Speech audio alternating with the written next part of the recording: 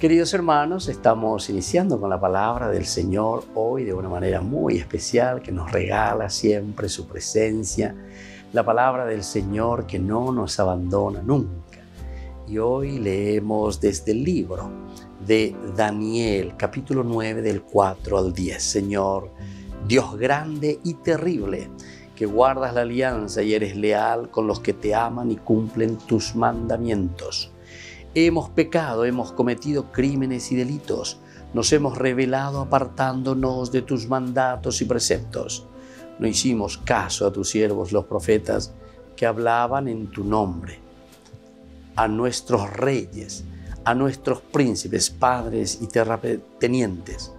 Tu Señor tienes razón, a nosotros nos abruma hoy la vergüenza a los habitantes de Jerusalén, a judíos, israelitas, cercanos y lejos, en todos los países por donde los dispersaste por los delitos que cometieron contra ti. Y así continúa la palabra del Señor. Pero coa va el oya poajina Daniel. Hoy cual cañande e ñande bueno, pelle esa peáquena. Pelle esa cuáquena, lleva es decir, en la realidad y el sufrimiento del exilio. Es el momento de levantarnos, es el momento de mirar hacia adelante, es el momento de dedicarle ese compromiso total y concreto al Señor, a Dios.